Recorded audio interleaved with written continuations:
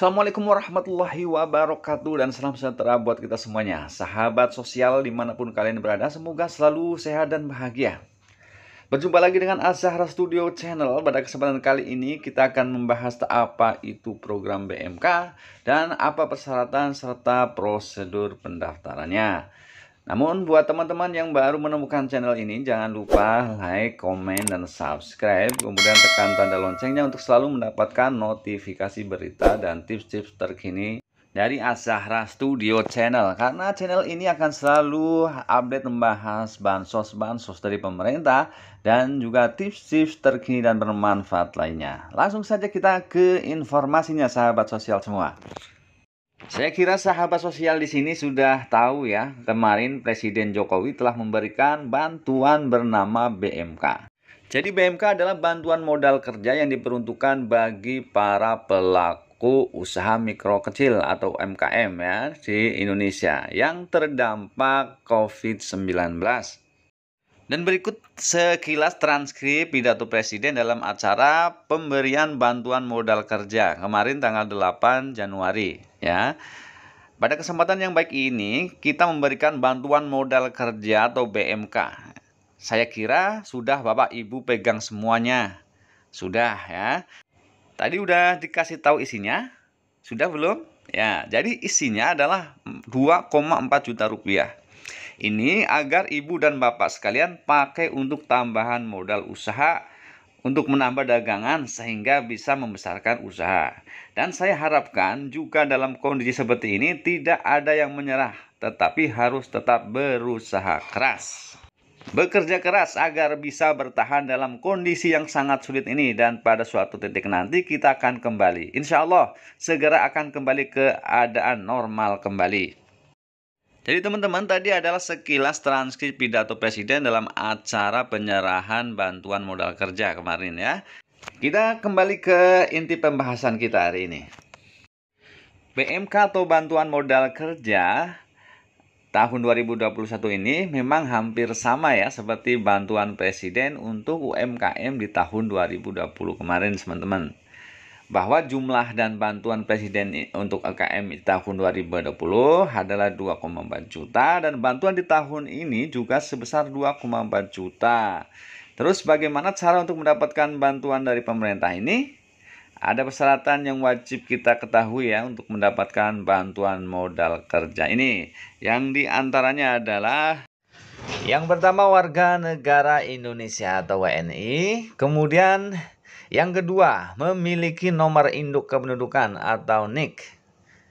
Ya, kemudian yang ketiga, memiliki usaha mikro nih, teman-teman. Selanjutnya, yang keempat, bukan PNS, TNI atau Polri, serta bukan pegawai BUMN atau BUMD. Selanjutnya, yang kelima, tidak sedang menerima kredit atau pembiayaan dari perbankan dan kur ya.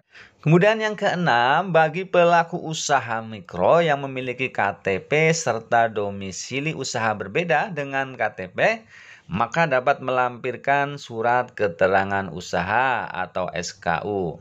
Ya, jadi hampir hampir sama ya dengan persyaratan di BLT UMKM tahun 2020 kemarin teman-teman.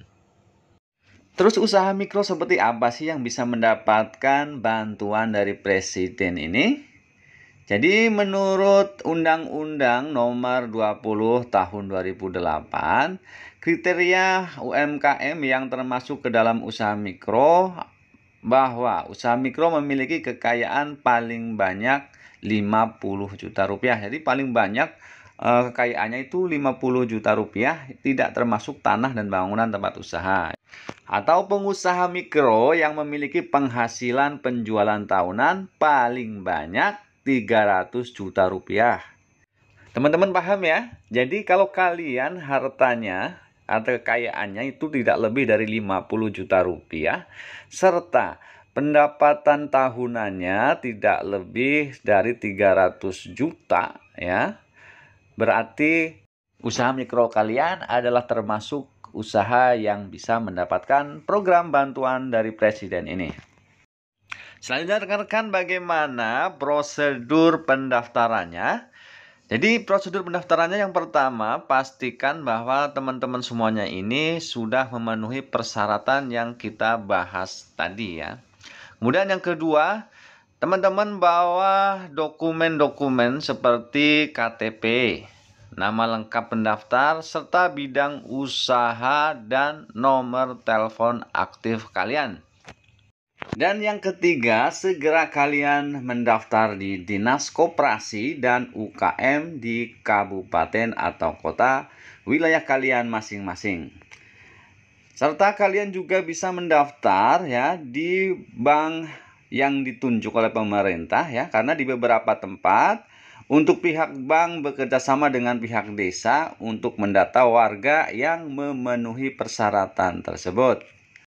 Jadi teman-teman setelah kalian mendaftar ya nantinya kalau kalian lolos kalian akan mendapatkan notifikasi SMS yang masuk ke nomor handphone yang kalian tadi gunakan saat pendaftaran ya dari pihak bank yang menyatakan bahwa kalian telah menjadi salah satu penerima bantuan presiden ini.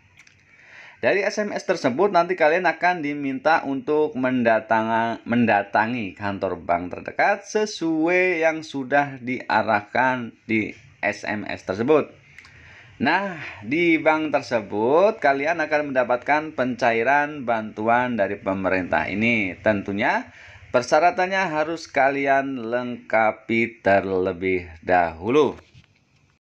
Terus apakah bisa mendaftar dengan sistem online? Jadi teman-teman sampai saat ini belum ada informasi mengenai pendaftaran secara online ya, baru ada informasi pendaftaran via offline saja. Nanti kalau ada informasi pendaftaran secara online akan segera kami informasikan ya di channel ini. Makanya teman-teman jangan lupa subscribe ya, kemudian tekan tanda loncengnya untuk selalu mendapatkan notifikasi berita dan tips-tips bermanfaat terkini dari kami ya. Baik rekan-rekan semuanya kiranya cukup sekian untuk informasi kali ini. Kami berharap kalian semuanya yang melihat video ini adalah orang yang beruntung menerima bantuan ini. Dan wassalamualaikum warahmatullahi wabarakatuh.